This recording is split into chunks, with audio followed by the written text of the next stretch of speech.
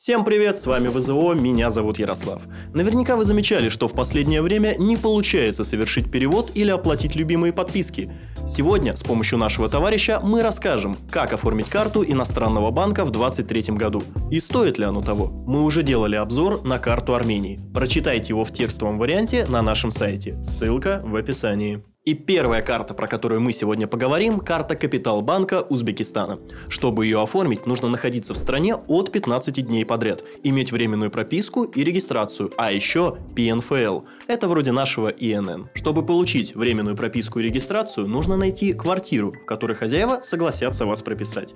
Максимально временная прописка может действовать до полугода. Ее можно продлевать, но тоже не дольше, чем на 6 месяцев. Как это сделать? Очень просто. Берете с собой хозяина квартиры и едете в миграционную службу по вашему району.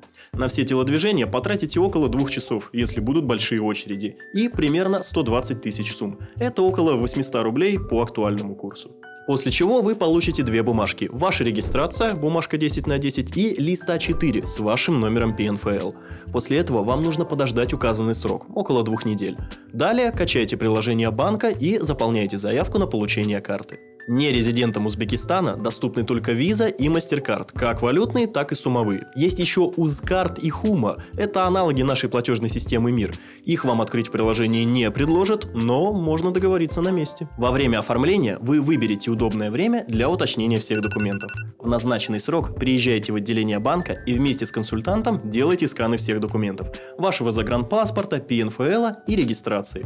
После этого вам дадут заполнить небольшую анкету. Там есть такие формальные формальные вопросы, как будете ли вы получать переводы из-за границы, в каком примерно размере и являетесь ли вы резидентом США. Когда заполните все документы, вам скажут, что карту привезет курьер. Тот обычно приезжает на следующий день по адресу, который вы обговорили в банке, не всегда по месту прописки. Курьер привезет карту в специальном именном конверте. На месте с помощью терминала вы настраиваете пин-код, вас фотографируют с картой, с разворотом паспорта и на этом все. Картой можно пользоваться. Баланс изначально будет минус 105 тысяч сумм. Это плата за выпуск карты. Ладно, с выпуском разобрались. Следующий вопрос. Будут ли такие карты работать в других странах? Ответ короткий – да, будут. Кроме, естественно, России.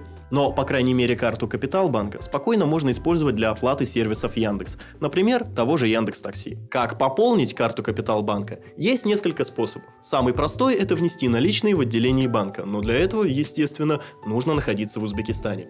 Совершать переводы с других карт можно прямо в мобильном приложении банка.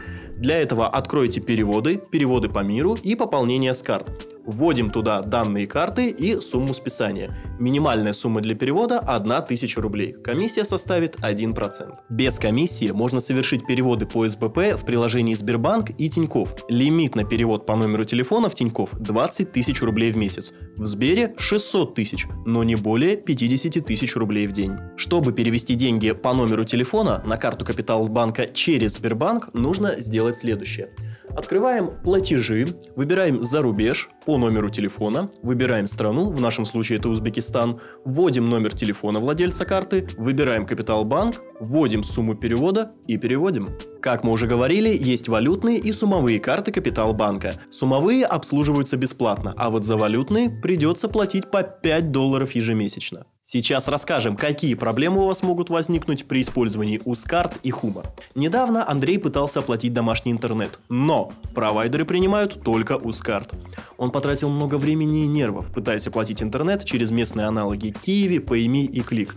По итогу оплатил его через знакомого, у которого есть карта Ускарт. Так что за работу международных платежных систем в Узбекистане ставим жирный минус.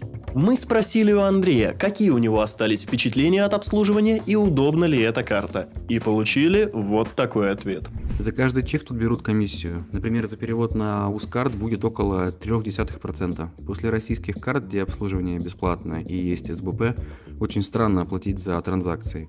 Зато узбекскую карту везде принимают. Единственная трудность была в том, что пришлось ехать в банк на подтверждение документов. По сравнению с обслуживанием в российских банках, это вызывает некоторое недоумение. А так, все в порядке. Теперь расскажем о карте Каспи банка Казахстана. Эту карту нерезиденту из России получить, пожалуй, проще всего. По доверенности они, к сожалению, тоже больше не работают, но добраться в Казахстан можно относительно быстро и недорого. Из Омска или, например, Новосибирска логичнее всего добраться на наземном транспорте. Билет на автобус будет стоить в районе 3500 рублей, на поезд около 2000. Билет из Москвы в Астану или Алматы обойдется уже в 10 тысяч рублей. Для получения карты нужен загранпаспорт, местная симка и ИИН. Это уникальный 12-значный номер, который присваивается каждому физическому лицу в Казахстане.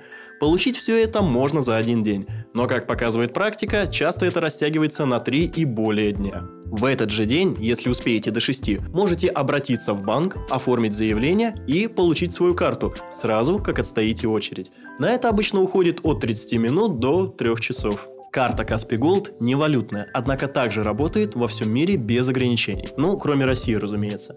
С нее можно спокойно снимать наличные во всех банкоматах мира и оплачивать покупки. Конвертация произойдет в тот день, когда банк получит подтверждение операции. Если за это время курс изменится, возникнет валютная разница. Итоговая сумма уменьшится или увеличится. С Caspi Gold доступны международные переводы на карты Visa и MasterCard.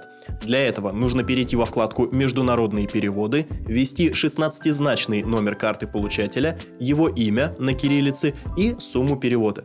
Курс конвертации рассчитается на следующей странице – Комиссия за перевод составляет 0,95%, а минимальная сумма для такого перевода 200 тенге. С помощью нее вы также сможете оплачивать те подписки, за которые оплата с российских карт сейчас недоступна. Пополнить карту Каспи банка из России не так уж и просто.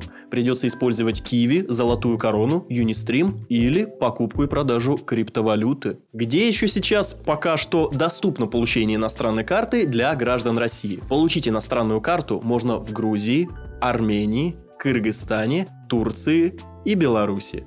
Некоторые банки Белоруссии тоже находятся под санкциями, поэтому всегда сохраняется вероятность попадания в черные списки у любого из банков этой страны, поэтому будьте аккуратнее в выборе. Технически можно получить и карту Европейского банка, но, во-первых, из-за напряженной обстановки сделать это будет довольно сложно, во-вторых, даже если вам откроют счет, в любой момент его могут закрыть без объяснения причин. Вместо итога скажем вот что. Будьте готовы к самым разнообразным вариантам событий. Условия меняются чуть ли не каждую неделю. Возможно, к моменту выхода этого ролика уже что-то успело поменяться. Так что будьте готовы ко всему. Пользуйтесь максимум существующих возможностей и смотрите ВЗО. Всем пока!